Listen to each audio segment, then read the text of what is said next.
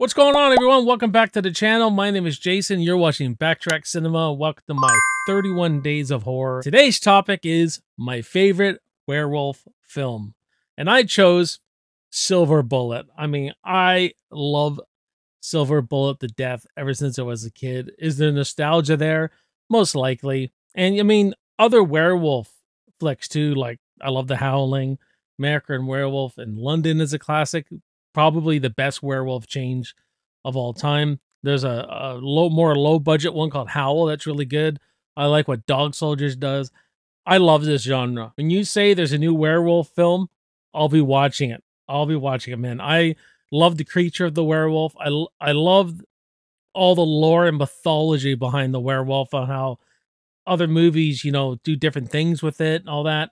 This one that we're going to talk about you uses the silver bullet to kill it but yeah, I just love the werewolf genre to death, man. I think that you get great practical effects usually.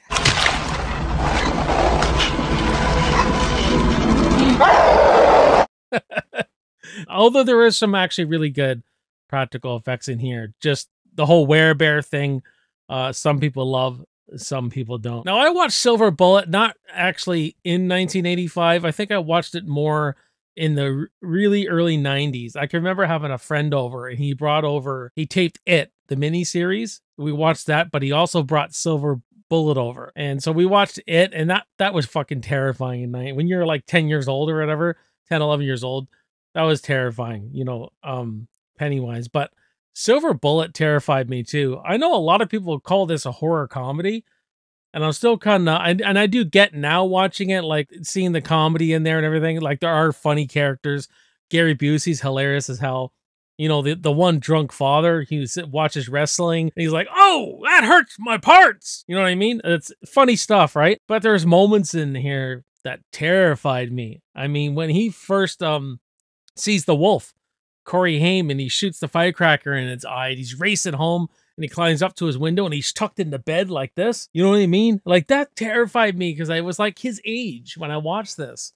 You know what I mean? And what makes him what makes the character so good? He can't walk, and he's like this. Um, him and his sister battle this werewolf out with their uncle, and he's at such odds. You know what I mean? He has to he has to overclimb a huge mountain you know, no one believes him on all that. So that aspect of the story I really like. And it's a family drama that deals with family and broken relationships and how these relationships mend themselves through this slasher style werewolf film. Fantastic, right? And the big fans of Stranger Things now. You know, the way Stranger Things and everything. Like Silver Bullet's got got that vibe to it because Stranger Things tapping into that 80s ET stuff and you know, and um, something like this, Silver Bullet. And Silver Bullet's the wheelchair that Uncle Red makes. And we start off with Marty and Jane, brother and sister, our main characters who they start off with tension. Then we got Uncle Red's the uncle and their mother, their their brother and sister, and they have tension. And some point about just as we get to the third act, they're they're having a barbecue, and you can see a lot of these relationships have mended, and then we get the battle against the werewolf. In a nutshell, you know, that's that's really the heart of Silver Bullet. The kills I always thought were great in this. It opens up with such great mood and atmosphere. And I think this movie really has that atmosphere, you know what I mean? With the drunk on the train and he gets his head decapitated. I thought that was a cool kill. But the pregnant lady who goes to kill herself with pills and the werewolf does a, does a Billy from Black Christmas. He's climbing up the freaking to her window and the way they shot this because they didn't like the werebear, they didn't like the way the wolf suit looked. They did a Jaws effect. They they shoot a lot of it the shadows. They keep the thing in the shadows a lot till the end. And this kill here, it's all in shadow. He's freaking he's clawing away at her skin and everything. And that shot of her lying on the bed after, like in my mind as a kid, I remember her guts hanging out and her freaking neck was split and her neck was cut and everything like that. Um, again, this movie relies on a lot of suggestion at times. Like when they um when they find Marty's best friend with the kite, you never see him. You just see the performance of the father finding him. And man, what a performance. I love that performance where he's like I'm you know, he's just looking at his son and it, just looking up at his face and how he goes from panic and fear to to complete anger and then, you know, no. He's just it's such a heartfelt performance And then there's the whole thing about private justice, everything. He goes in there, I'm going to go get myself some private justice.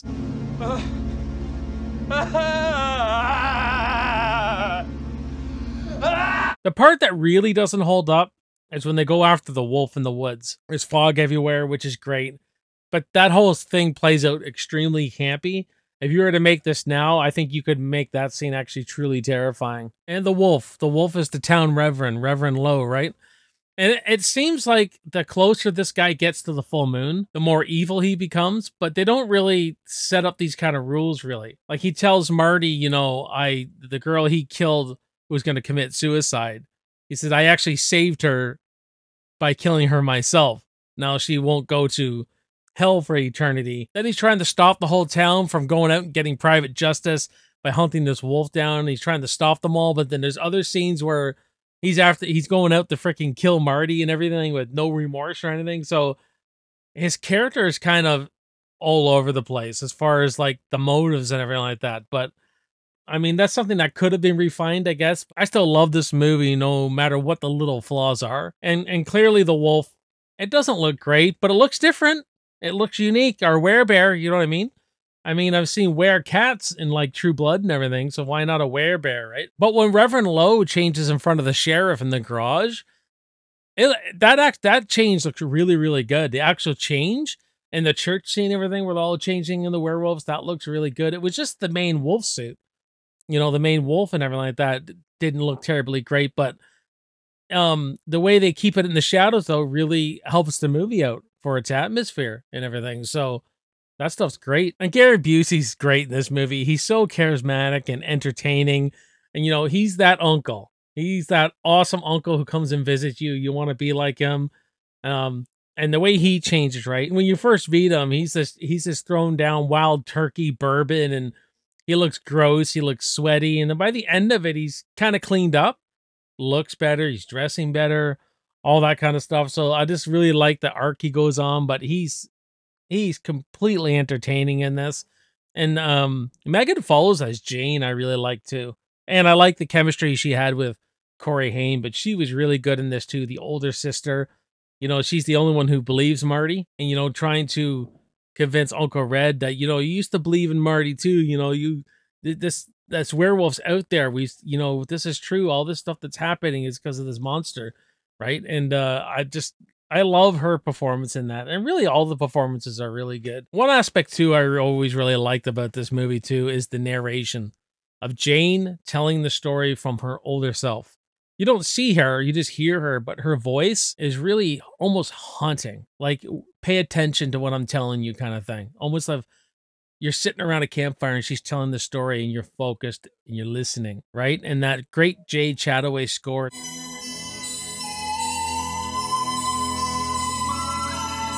Got these really beautiful melodies to it, but it's got this creepy synthesizer too to it. That's I just absolutely loved. And you know, there there seems to be more to the puzzle than we know. Right at the end where uh, Marty says, "I love you, Jane," and then Jane's older self says, "I love you too, Marty," and something she said she could never say before. So you're not sure if Marty's dead. It's ambiguous. You're not sure if something happened to Marty, but she, it's almost like she's telling this story and that Marty's been long dead and gone now. Interesting thing in the movie, anyway. And also, I think this movie could be handled really well with a 10 episodes or, or 12, 10 episode series of some kind where every episode would be a killing on the full moon of the wolf.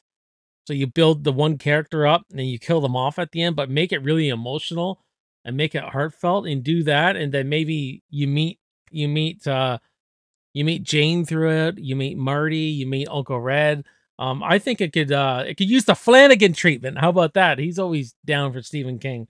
That's what it could use. It's something like that. Just a one season kind of thing I think would be awesome for this thing. Yeah, guys, Silver Bullet I always loved. It's kind of like a werewolf movie mixed with a slasher, but with family drama in it.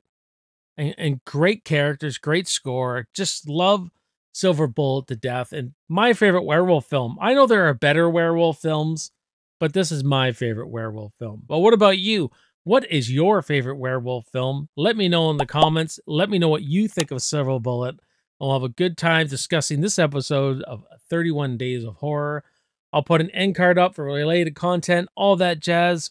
Like, share, subscribe if you love this kind of content. My name is Jason. You're watching Backtrack Cinema. I'll see you next time, and I will see you in the movies. Cheers.